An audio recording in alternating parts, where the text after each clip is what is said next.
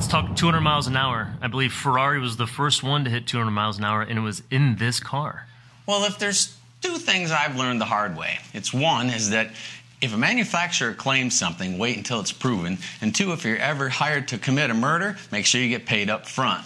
And this car is one of those cars that I would have definitely wanted to get paid up front because they did a bunch of tests on this car, and everybody continuously says this is a 200 mile an hour car, and it came up short. They did multiple tests on it, and they've never hit 200 with this car. None of them None ever? of them have ever hit 200 miles an hour. It's a 199 mile an hour car, and I know it's terrible. Maybe- maybe you- slight you're downhill. deal with it, right? Yeah, looking for some downhill action. But as far as when it came out, Yeah. I mean, there's no question when the F40 came out. I remember I was watching drag racing on TV, and it was such an amazing car that on drag racing on TV, a famous football player had gotten one and drove it to the racetrack. So they break away from racing to show this F40 at the racetrack. Wow. It was that big of a deal. Oh, I mean, this car is. was just gigantic in its era, and it still is. I mean, it's like it's like the 1969 Camaros. I mean, it will always be a cool car to have. Yeah. But honestly, it's not as quick as everyone says that. Well, it's not as quick now as things are now. I mean, you take, and I hate to say this, but a 458 is faster than an F40. I mean, it is. Well, it's got more horsepower, but I think this is like one of the last true cars too that well maybe not one of the last, but it required a driver. Whereas the cars nowadays can pretty much drive Oh, themselves without without Absolutely, even and you it's funny because we I, I like to take the wife out in the 458, and the car's got a few year old tires on it, so they're a little harder than they should be. But I th- I love that about it because you Oh, can yeah. shut all the traction control off, and I always leave the place and I do like a little slight drift when we leave, and all the valet guys always watch because they know Patrick's going to leave with the Ferrari and he's going to do this little drift out of the road, and you can do that with the car because the car's really controllable, real docile, just real, and everything's fingertip controls. I mean, you can super control the car. Yeah. Whereas this car, and this is a real race car. This car, if you got, if you drive around in this in the road for a while, it's like being beaten to death by canned goods. I mean, I it's heard it's absolutely really just a brutal car. They call it a 30-minute car. Right. You get in it, and drive it for 30 minutes, and you want the hell out of it. in part, what that's due to is the fact that this was such a stripped down car. Now, Ferraris around this time were considered starting to become considered very comfortable and comfy cars and not really enthusiast cars. And so that's what Enzo was doing with this car to make it as raw as a car as possible. No radios. The, the first 50 units produced only had Lexan windows in them. So we're talking bare carbon fiber, aluminum, and Kevlar as well. So And no, I'm- that's going to make for a stiff ride. And I'm not going to lie to you.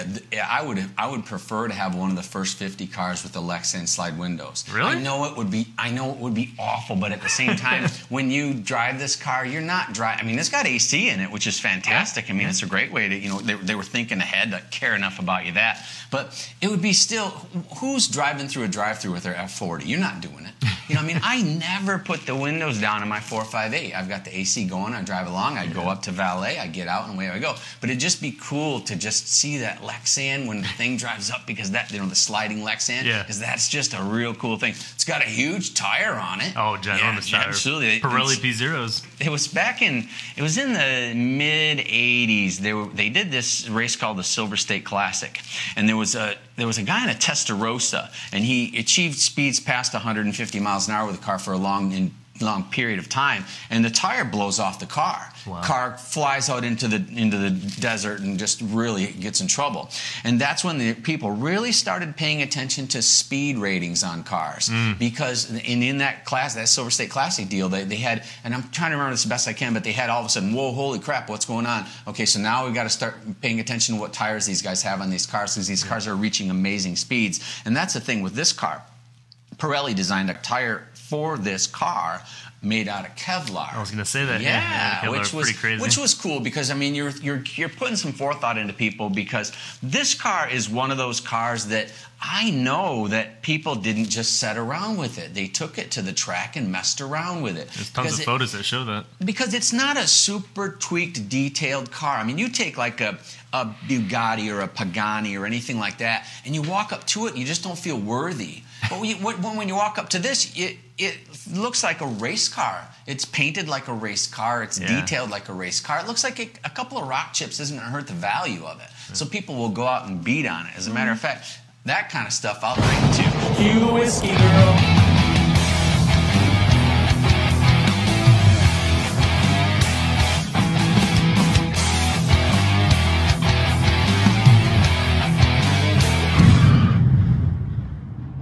Now, speaking of that, paint chips and stuff like that from rocks, the one of the cool things about this too is that even down to the paint, they were talking about how they put thin coats of paint on these cars, and you can actually see the carbon weave coming through the paint uh, when you look at it at certain angles, and that's what a lot of um, collectors look at. That if if you can't see that weave coming through the paint, it's because it's likely been repainted could be from rock chips or something else, but just kind of a neat, neat feature. They went all the way down to the paint. And they did that on the F50 too. I mean, if you take a look at this, if you look real close to this photo of an F50, you can see that weave in the paint. So if you were to scuff this up, you can't get that weave back. No. I mean, that's that's gone for That's good. there, yep. The they were trying to keep the car as light as they possibly could because, as probably everybody knows, the F40 is really just an evolution of the 288 GTO, which was the 288 GTO Evolution. The racing series got killed, so they said, "Hey, we got to do something with this 288 Evolution." So they made the F40. Yeah. But the F40 was always, and I hate to say this because I'm going to make some Ferrari guys mad. The Uh-oh. F40, they were always scared of that 959 Porsche. Oh yeah, yeah, totally. That, that yeah. 959 was going to be in the same class as that 288 Evolution. Now, that 288 Evolution was going to be a fast car, but I Yeah. don't know how fast it was going to be because when they ran that 959, well, they ran a Ferrari had a track day where they invited the some 959s out to Fiorano, and then mm. they invite, they had a couple of their F40s there, and they both ran them around the racetrack at Fiorano. And the news people that were there said, "Hey," all the journalists said, "Hey, great cars, both of them, but honestly, the 959 is a better car." Mm. But you know, it's It's a technology test bed. I don't think they're comparable. and I completely agree because I, I don't think that you can say it's a better car. They really should have said it's a different car. Yeah. Because it's a completely different driving experience. Because when I go out and if I really want to have a nice, comfortable riding experience, I'll hop in a Rolls Royce. But when I want to go out and have a good time, man, nothing better than a Boss 429 Mustang. You know what I mean? Good times, right? Yeah, yeah, sure. absolutely. So they, they were probably not comparing what it was built for. It was built, built to enjoy the driving Yeah. experience. Whereas the 959 was it, it I don't I don't want to criticize the 959, but at the same time, it's not playing the same game. I look, yeah, they're completely different to me. Yeah, That's it's, so- to me, it's almost, and I know they're both race cars, but the F40 is more of a raw, you know, enthusiast race car, where whereas the 959, although fast and you know, it's it's technology. That was such an advancement in all different things technology wise. You know, like you said, you can't compare the two. Uh, Yeah. it had power windows and radios Yeah, and oh, everything yeah, like yeah. that. Where the Compl- F40 completely did. different type of a deal. Do, do you hear an alarm going off?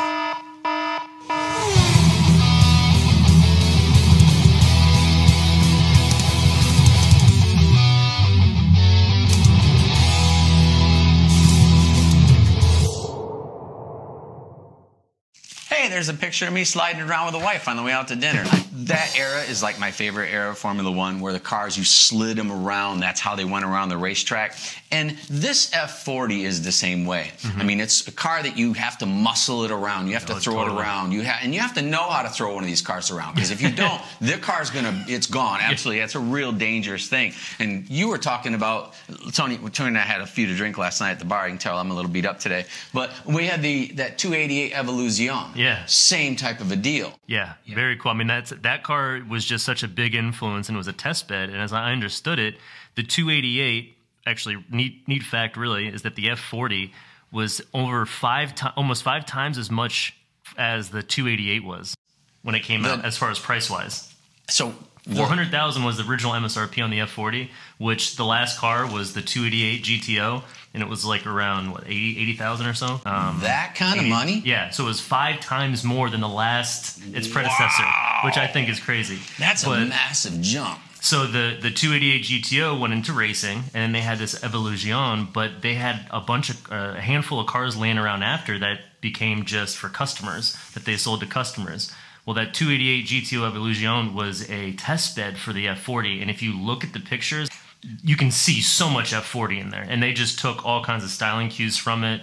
Um, and I think it's like the, from the NACA ducts all the way down to the different vents that are on it. So really, really cool looking. But the 288 Evolution, if you've ever seen one of those things, I mean, it's probably it's probably the, one of the most short of lighting yourself on fire and running through a meth lab. This is probably the most dangerous thing ever. Yeah. I mean, there that car is it was super light, super super fast, had a killer coefficient of drag because they really worked on that car. Mm. And speaking of coefficient of drag, I was was really surprised because back in the 80s, the, the Lamborghini Countach, everybody says, oh, wow, look how sleek and aero it was. The thing had a 0.42 coefficient of drag, same as a Plymouth Duster. Yeah. And this thing was a 3.4, which was a crazy yeah. low number. Yeah. yeah, I mean, that, that, Well, the GTO or the F40? The F40 was oh, 3.4. Wow. I, I heard it wasn't that good. I mean, just because of the, it was like an open, um, uh, back where the engine compartment was, it was all open, so that added to the drag. But, but I think they did it on that, purpose but three four, three four is really good for a street car of any type. I mean, that's a that's a really good number.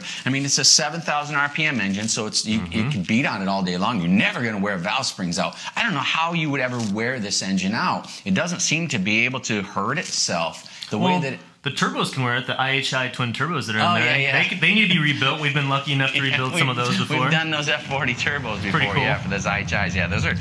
And but the the engine itself super reliable. Doesn't it doesn't spin nine grand? And I love my 9,000 RPM 458. Yeah. But these things at seven sound stunning. Mm-hmm. I mean, mm-hmm. just a fantastic sounding engine. 2.9 liter. I was surprised that it was as slow as it was at Fiorano. I mean, they had it. They, I've looked at all the track times on stuff, and the the F40 ran a 129.6 at Fiorano, and then the F50 was two and a half seconds faster wow. than the F40. Oh, and then naturally the, aspirated, no the, turbo lag. I'm yeah, sure this thing had a ton of turbo lag. The 458 was two seconds a lap faster than a F50.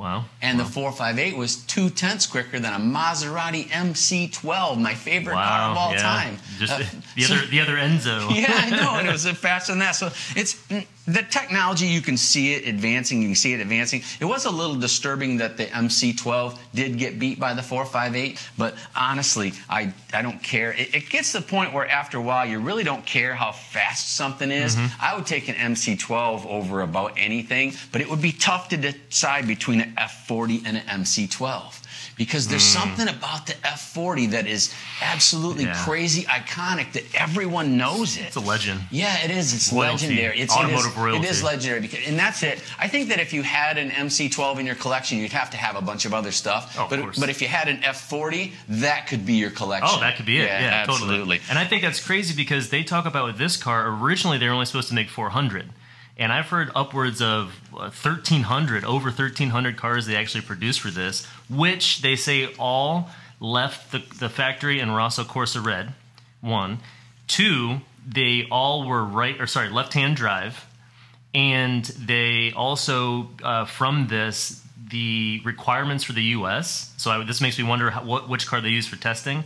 The U.S. cars were known to have higher horsepower than the European variants they said because of the safety features on the U.S. car, so it had bigger bumpers or uh, the bottom splitter came out farther, uh-huh. it added more weight to the car. So Ferrari's answer to adding more weight to the car was to give it more horsepower, and they've been known to have 500 to 515 horsepower, whereas the European variants had 471.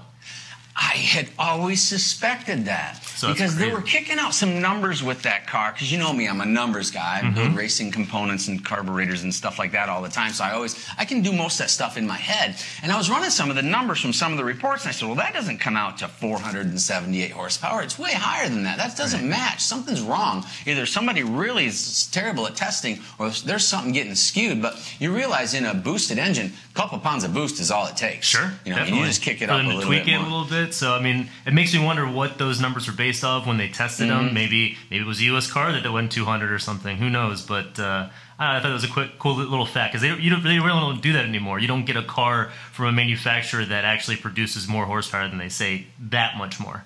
Typically, yeah. 40, 30, 40 horsepower more. All right, well, I'm excited about this car. I want to hear some numbers from you. I hear a squealing noise.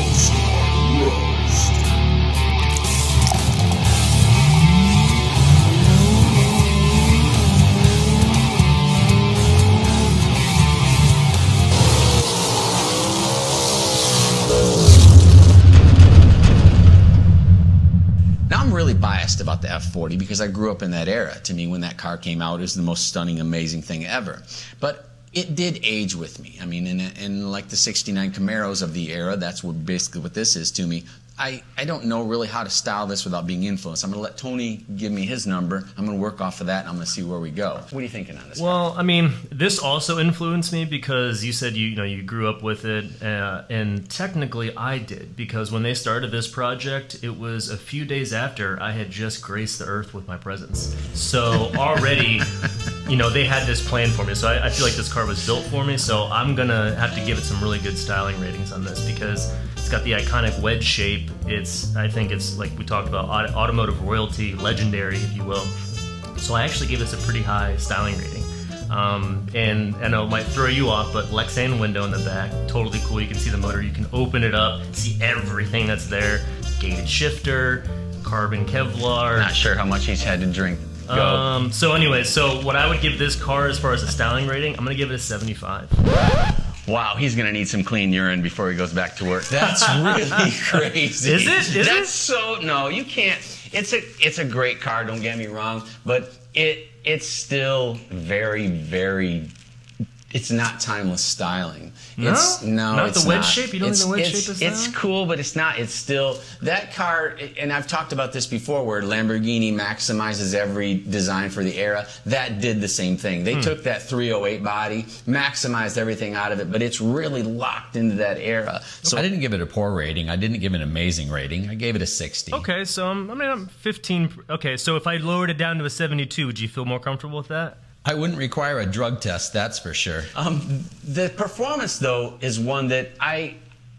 I'm a little bothered by because I agree with you that I think that in some applications it did kick out 470ish horsepower, and in some it was much higher.